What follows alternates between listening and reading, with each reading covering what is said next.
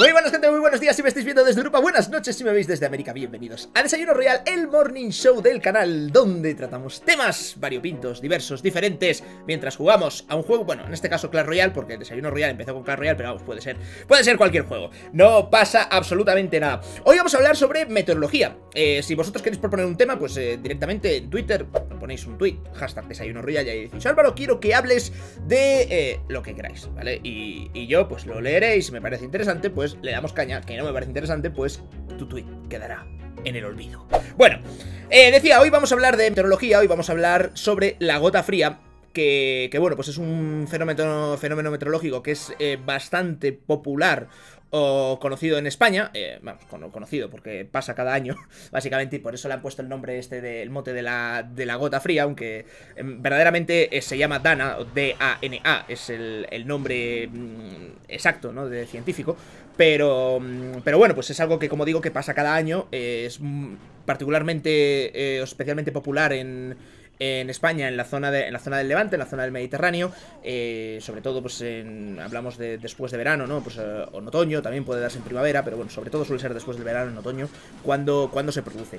Y, y bueno, pues como muchos fenómenos meteorológicos, eh, pues, los huracanes, por ejemplo, pues siempre son como en la misma época del año, ¿no? Es en plan, es época de huracanes, y, y bueno, pues es época de huracanes y y veremos a ver, cada año pues vienen, eh, pueden venir más fuertes o pueden, o, puede, o pueden ser tormentillas simplemente, ¿no? Pero sí que está como, es como muy cíclico, ¿no? De, en plan de, pues mira, es que entre esta estación y esta estación es la estación de lluvias, que en algunas partes del mundo pues eh, esas lluvias son, son tormentas y de hecho pueden ser huracanes y muchas veces pues, eh, pues son huracanes. Entonces... Eh, este año la gota fría de, España eh, ha sido particularmente dañina y devastadora.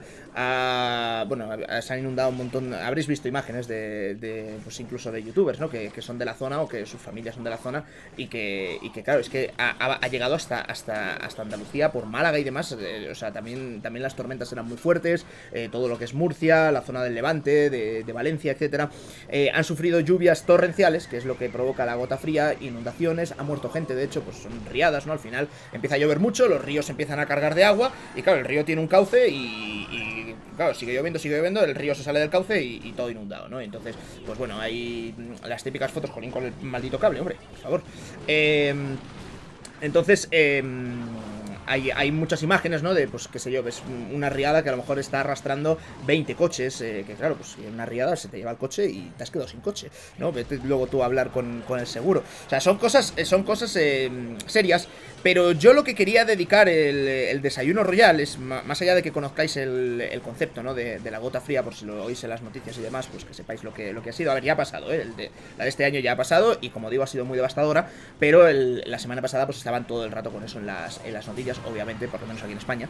Eh, pero bueno, yo lo que quería era mmm, destinar un desayuno royal a ver si erais capaces o si sabíais si sabéis el motivo por el que se producen estos fenómenos, o si sabéis más en concreto, si sabéis el motivo por el que se forman huracanes, por el que, por el que se forman tornados, por el motivo por el que llueve. A, fin de cuentas, ¿no? O sea, si, si entendéis todo esto de la, de la, meteorología. Y ya os digo, no, no es que sea un experto de meteorología, ni muchísimo menos, pero, pero bueno, pues ya en algún desayuno real he contado que me gusta mucho la física, estudié algunos años de física, y esto, pues bueno, no deja de ser física al final, ¿no? Estamos hablando de, de temperaturas y de, y de presión, sobre todo, ¿no? Del, de, del aire.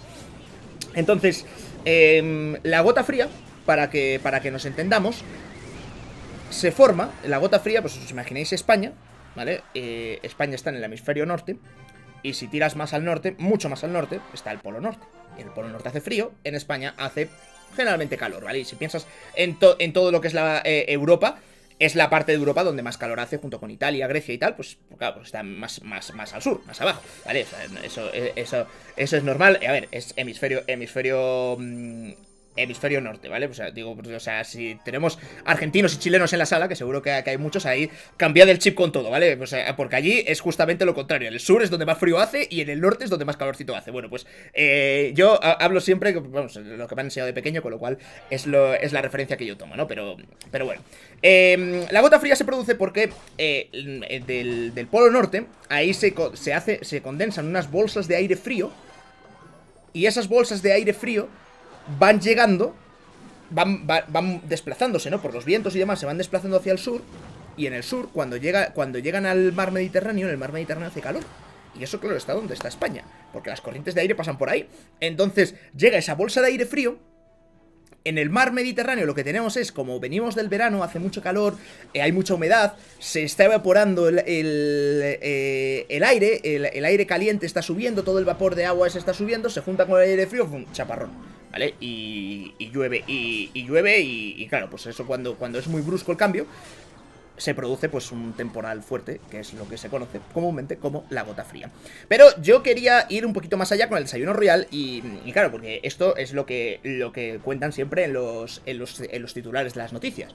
En plan de, viene una ola de frío polar porque no sé qué, tal... Y dices, vale, muy bien, bueno, el resumen es que va a hacer frío, pero no entiendes el motivo por el que va a hacer frío, no entiendes el motivo por el que va a llover, no entiendes el motivo por el que va a hacer viento, y eso es lo que vamos a ver en este desayuno ¿vale? Entonces, tenemos que tener en cuenta dos conceptos, ¿vale? Bueno, de hecho, antes de estos dos conceptos, que son anticiclón y borrasca, vamos a ir, ir más, más al, al, inicio, a la base. Vamos a hablar sobre la presión atmosférica, ¿vale? ¿Qué es la presión? Bueno, si tú sales a la calle, ¿vale? Tú estás en la calle y estiras los brazos. No tienes ni por qué estirarlos, ¿eh? Pero bueno, para el ejemplo queda mejor. Tú estiras los brazos y, bueno, pues te cansas de tenerlos así, pero en principio no, no te pesa nada, ¿vale? Si tú tienes el brazo estirado y yo te coloco aquí un tetrabric de leche, y dices, hostia, esto ya empieza a pesar. Si te pongo dos tetrabricks de leche, empieza a pesar más. Si te pongo 10 tetrabricks de leche, posiblemente, a no ser que sea Sansón, eh, se te va a caer el brazo, ¿vale? Porque no vas a poder aguantar. Bueno, lo que estamos haciendo es, en un punto de, de, de tu cuerpo, ¿vale? Estamos poniéndole peso encima. Y entonces, claro, se está ejerciendo mucha presión, ¿vale? vamos a tomar el nombre, sobre una, un, puntito de, un puntito de tu cuerpo. Claro, si yo no pongo nada, dices, tú puedes aguantar aquí, aquí lo que quieras. Porque, porque no, no pasa nada, no hay peso encima. No, mentira, sí que hay peso. Tú imagínate, o sea, de aquí hasta la estratosfera, ¿vale? De aquí para arriba, hay una columna de aire, ¿vale? Imaginario que lo tengo yo encima y que, oye, que yo estoy muy fuerte, que yo estoy aguantando el peso. Y que claro, dices, a ver, bueno, sí, Álvaro, pero es que el aire no pesa. Y a ver, sí, el aire no, no, pesa mucho, pero algo pesa.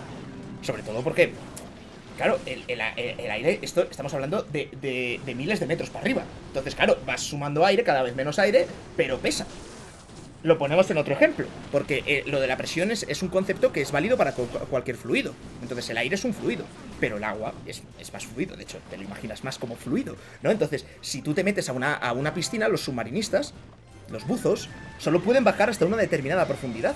¿Por qué? Porque ahí, cuando estás, cuando estás bajo el agua y estás buceando, imagínate la columna, esa columna de, de imaginaria de aire que se estaba poniendo encima, ahora ya no es de aire, amigo mío, ahora es de agua. Y el agua pesa más que el aire. Y entonces ya empieza a ser parecido a lo que hablábamos antes de los tetrabricks de leche. De que empezamos a poner muchos y entonces eso empieza a pesar. Entonces no puedes bajar tampoco muy profundo porque el ser humano solo es capaz de, de, aguantar una determinada cantidad de presión. ¿Vale? Tú estás acostumbrado, porque toda tu vida ha sido, ha sido así, estás acostumbrado a, a soportar una determinada cantidad de presión en, en la piel, de presión del aire. Incluso tu cuerpo con entrenamiento puede soportar determinadas presiones debajo del agua. Pero hay un momento en el que, en, el que no llegas. Eh, y no llegas, y, ya aquí cualquier persona, porque la presión, el agua te empieza a hacer fuerza. Además es por todos lados, la presión se reparte uniformemente. Y no es solo que tú, si bajas así a lo palillo eh, y, te, y, te vas, y te bajas en profundidad, solo la presión te caiga por aquí, te cae por todos lados. Es como si te quisieras aprisionar todo, todo tu cuerpo. Entonces, eh, pues las partes más débiles de tu cuerpo, quizá no la piel, pero igual los oídos te revientan igual los ojos te revientan, o sea, os, lo imagináis, ¿no? Los propios submarinos solo pueden bajar hasta una determinada profundidad precisamente por la presión eh, que, que, hay. Entonces, dices, a ver, como este reloj lo metas más de 50 metros bajo el agua, va a reventar, porque el vidrio no, no va a aguantar tanto, tanto.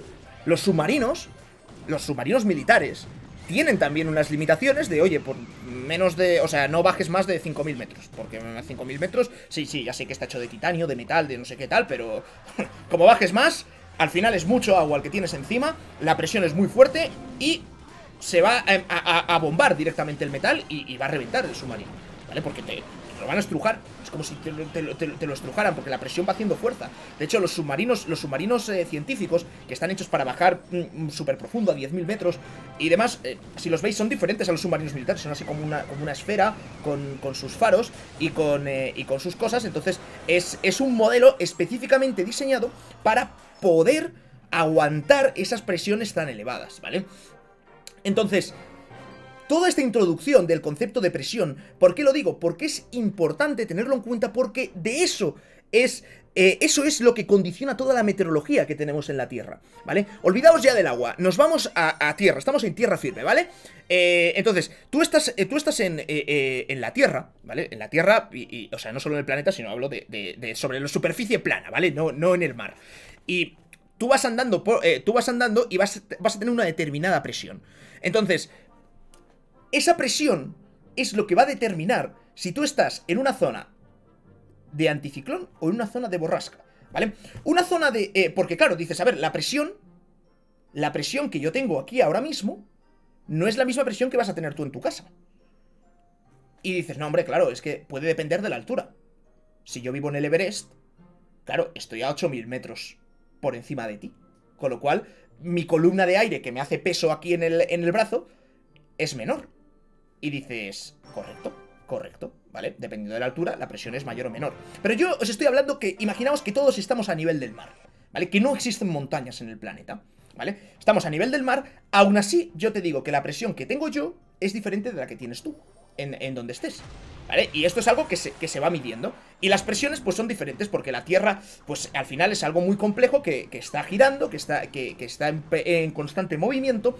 Y la presión que tengo yo por ejemplo, puede ser diferente de la, que, de la, de la presión que haya a 200 eh, kilómetros de aquí, ¿vale? Porque puede que yo tenga un poquito más de presión que la otra persona. Y hablo de un poquito, ¿eh? O sea, no estoy hablando de una cantidad que digo, Dios es que aquí no puedo ni andar de la presión y el otro lado puedas ir dando saltitos. O sea, son cambios muy pequeños, pero suficientes para explicar todo el, eh, todo el fenómeno de la meteorología, ¿vale? Entonces, si partimos de que en las diferentes zonas, y zonas, eh, hablamos de zonas grandes, a lo mejor un país entero, ¿vale? Es, una zona que digamos que en este momento tiene altas presiones.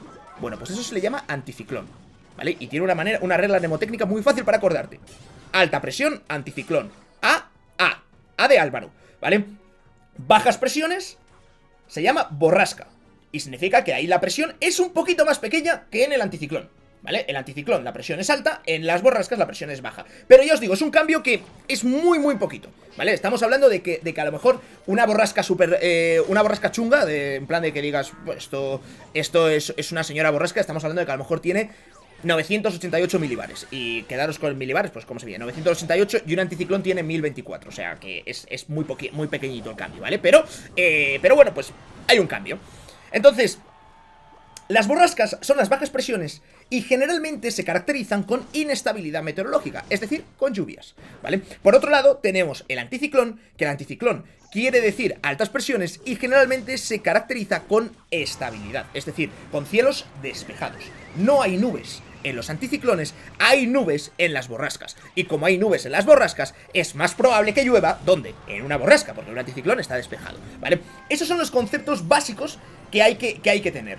Entonces, esto me da pie a introduciros una imagen Que os la voy a poner por aquí debajo Y esto es un mapa, un, mapa de isobaras ¿Vale? Es un mapa meteorológico Es, eh, ¿os habéis visto el tiempo, la previsión meteorológica alguna vez en, en, eh, en, la televisión? El hombre del tiempo Que te va a decir si va a llover o va, o, va a hacer sol Y que muchas veces se equivoca Porque, a ver, bueno, muchas veces no, no tantas, ¿no? Pero se, pero se equivocan de vez en cuando eh, Y ponen este mapa Muchas veces y, y hay veces que dices, a ver, yo veo el mapa aquí Pero a mí esto no me dice nada ¿Esto qué quiere decir? Bueno, con la A Anticiclón, altas presiones, con la B, borrasca, bajas presiones ¿Vale? Eso es lo primero que tienes que entender Entonces, en ese mapa, ¿qué es lo que tenemos? Pues hay una borrasca Que está ahora mismo encima de Córcega Y de Cerdeña Y que va a entrar en Italia Entonces, va a llover en Italia ¿Vale? en Italia va a llover y por, otro lado tenemos una, una, A gigantesca que está ahí como medio, casi como que las ondas acaban llegando a, España, que es un anticiclón, que de hecho es un anticiclón que suele estar ahí y que se llama el anticiclón de las Azores, ¿vale?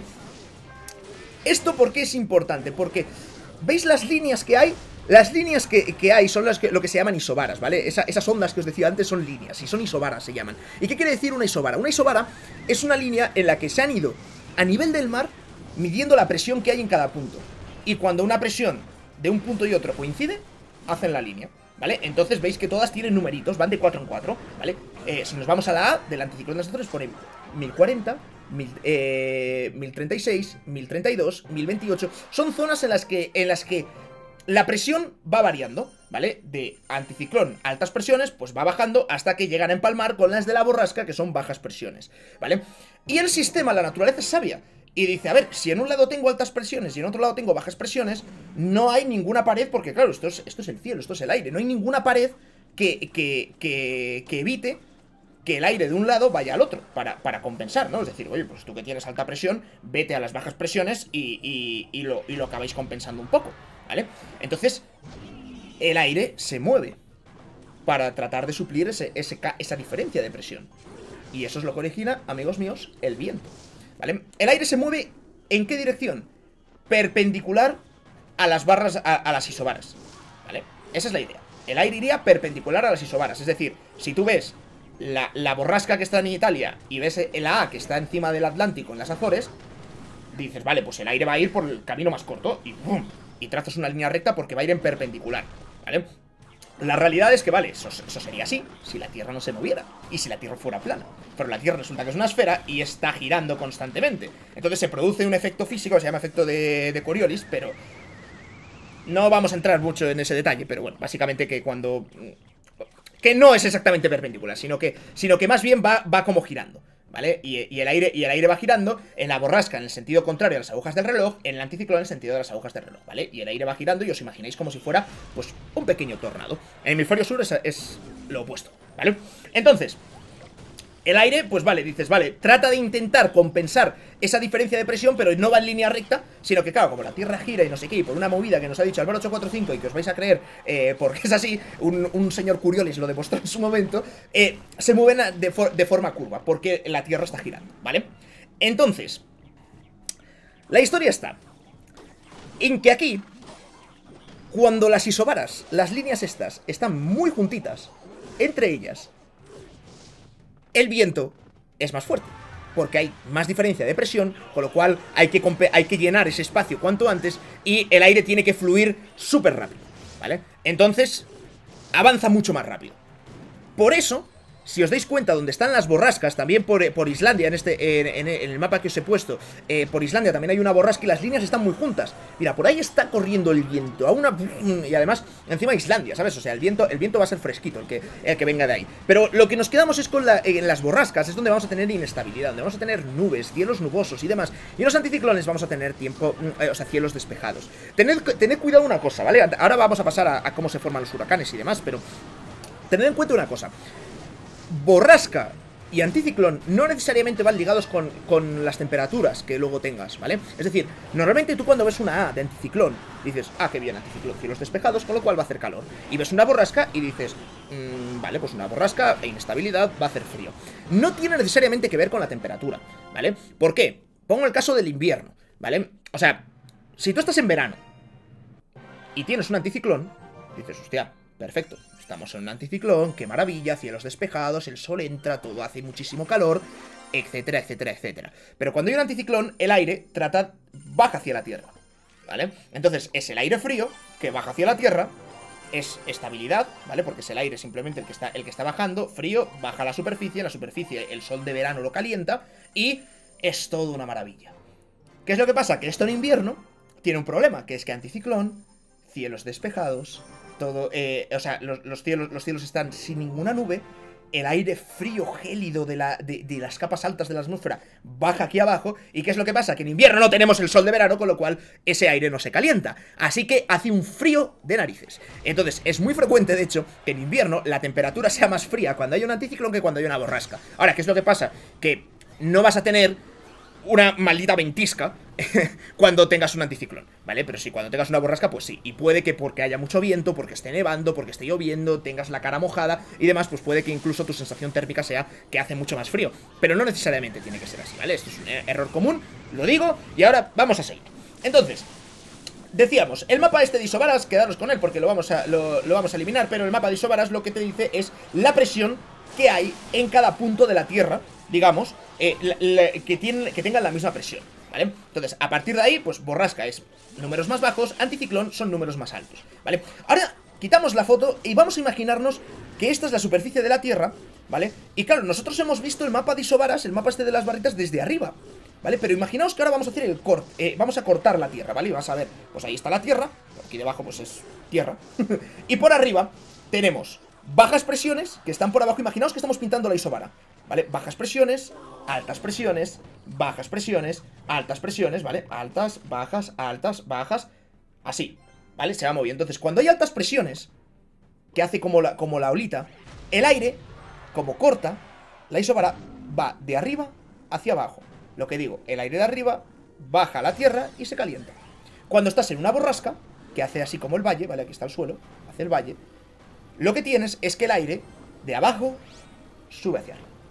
Y cuando sube, ¿qué es lo que pasa? Pues si cuando baja del frío que hace ahí arriba, baja la tierra, se calienta, pues cuando en la borrasca lo que hace es se enfría, ¿vale? Entonces, ¿qué es lo que ocurre en los huracanes, tifones, ciclones, todo, todo esto, que son palabras que lo, habréis oído muchas veces, monzones, todo forma parte de, del mismo fenómeno meteorológico que al final es una borrasca muy chetada, ¿vale? Pero es exactamente lo mismo, depende de, la, zona del mapa, donde, donde sea, se le llama de una forma o de otra, ¿vale? En el Atlántico estamos, eh, en el Atlántico, en el Caribe, hablamos de huracanes, cuando nos vamos al Océano Índico hablamos de tifones, cuando nos vamos al Pacífico, habla, eh, perdón, en el Pacífico hablamos de tifones, eh, ciclones son más del Océano Índico, em, por la parte de Tailandia, Indonesia y demás se habla de, monzón, eh, bueno, que el monzón es más bien una estación de lluvia, no es necesariamente uno de estos, vamos a quedarnos solo con el huracán, el tifón, el ciclón, mm, pero es todo lo mismo, ¿vale? ¿Y qué es lo que ocurre? Pues muy fácil, siempre se forman en la misma época del año. Y vamos a hablar de eh, que quizás sea el que, el, que, el que nos toca más de cerca de los huracanes, que se producen en la zona del Caribe, ¿vale? Siempre es en la misma época del año. ¿Cuándo? Después del verano. Después de que haya hecho muchísimo calor, lo que tenemos son... El, mar del, Caribe está a una temperatura muy alta. En verdad, eh, a esa época del año, después de que ha pasado junio, julio, agosto, está súper caliente, claro, y, y entra septiembre, y tenemos un mar que parece un caldo que está a 26 grados, 28 grados, no, no, no el agua en sí mismo, pero la superficie. Entonces, es agua que se está constantemente evaporando. Entonces, lo que suele ocurrir con los huracanes de todos los años es, estás en África, ¿vale? En África, pues en las montañas, más o menos por Etiopía, se forman ahí, pues, zonas de bajas, presiones y hay tormentas, ¿vale? Pues que, que llueve, ¿vale? Y esa tormenta va atravesando todo África, ¿vale? Y dices, bueno, pues es una borrasca, sin más, ¿vale? Pues en una zona pues, de inestabilidad que a veces llueve, ¿vale? No pasa nada, ¿vale? Pero, ¿dónde está la fuerza destructiva de los huracanes? O sea, ¿qué es lo que ocurre? Pues que esa borrasca, esa tormentilla, que nace en Etiopía, eh, digo nace en Etiopía porque la mayoría nacen en Etiopía, ¿vale? Por esa zona, pero que un, un huracán puede formarse en cualquier otro lado, ¿eh? Pero van haciendo por ahí, atraviesa todo África y luego llega al mar.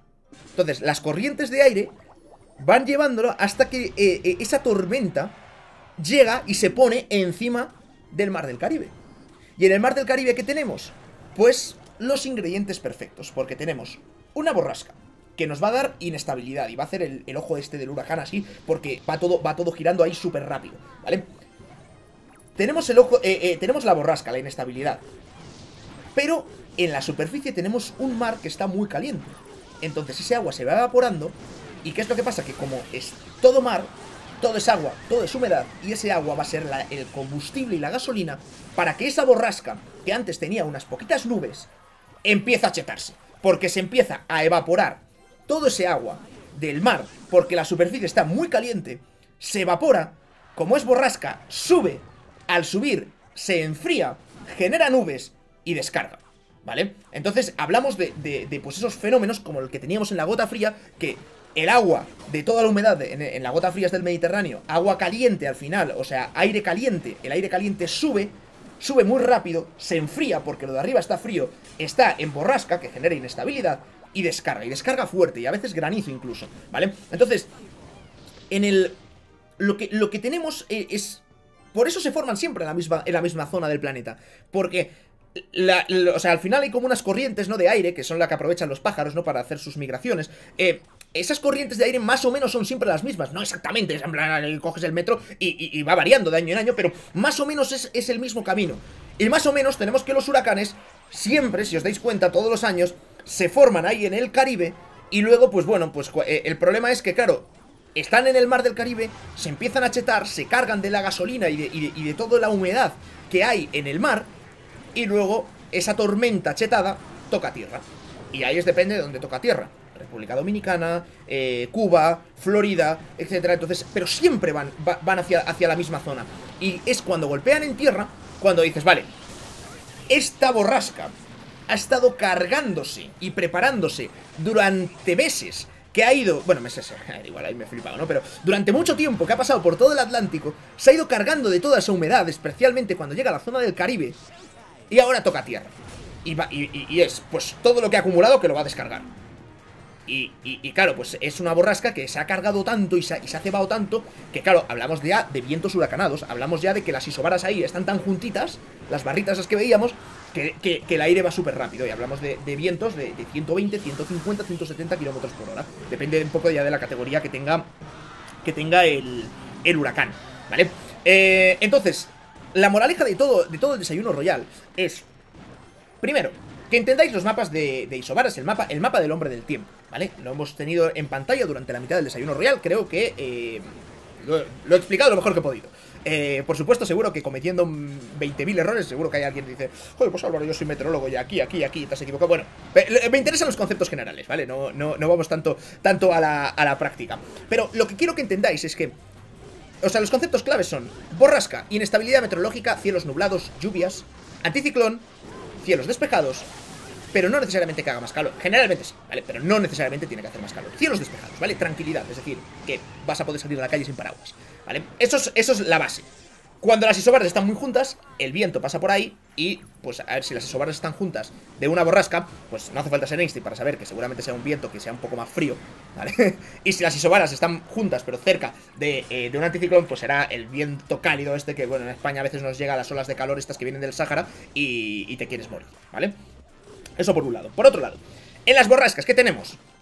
Que el aire sube hacia arriba y se enfría. Y descarga. Y en los anticiclones que tenemos, que el aire de arriba baja a la superficie y se calienta la superficie. ¿Vale? Esa es la teoría. Entonces, cuando ocurre una desgracia meteorológica de, como digo, en español es lo de la gota fría, que se llama Dana. Pero tenemos los huracanes, los tifones, los ciclones, todo esto, al final no deja de ser una borrasca que se ha chetado mucho, ha conseguido mucha humedad, porque es la borrasca que lo que está haciendo es, al pasar por todo el océano, toda la superficie caliente, todo ese agua que se va evaporando, toda esa humedad, la va condensando y se va haciendo un movidote de la hostia que cuando toca la tierra, destroza, básicamente. ¿Os habéis dado cuenta que no hay huracanes en... O sea, los huracanes no pasan en cualquier, en cualquier zona, ¿vale? O sea, solo pasan en determinados puntos. A ver, alguna vez sí que puede darse alguna circunstancia rara, pero generalmente no pasan en otras zonas. No pasan en el interior. ¿Habéis oído alguna vez que en el centro de los Estados Unidos, justo en el medio, hayamos tenido eh, o haya habido un huracán? No, porque no, no hay combustible, no hay agua. o sea, el agua, o sea, estamos hablando del océano, de lo que se carga, de todo ese agua, para luego poder descargar. Entonces, ¿ahí qué podemos tener? Podemos tener tornados. Un tornado, al final, no deja de ser más o menos lo mismo. Simplemente que el, tornado, pues bueno, diferencias de temperatura y de presión entre un punto y otro y el aire empieza a subir. Cuanta más diferencia haya, pues sube más rápido, va haciendo ahí el círculo y puede tener más o menos poder destructivo. Pero el tornado, lo que pasa es que no tiene, el tornado, el tornado no tiene agua, no tiene gasolina, no tiene combustible, con lo cual no tiene lluvia. Simplemente pues es el círculo que va, que, va destrozando y son vientos muy fuertes, etcétera, ¿vale? Eh, pero al final es todo lo que lo explica, la diferencia, la diferencia de presiones entre zonas, entre diferentes zonas y la diferencia de temperaturas del aire. El aire caliente sube, el aire frío baja. Y no hay mucho más. Con eso eh, eh, tenéis ya margen para poder investigar lo que queráis y sobre todo para poder entender cualquier tipo de previsión meteorológica que os hagan o cualquier mapa de isobaras al que os enfrentéis. Todo eso lo vais a poder hacer sin ningún problema. Y, y creo que aquí voy a dejar el desayuno real, que creo que media hora de chapa de meteorológica ya está bastante bien. espero que se haya entendido.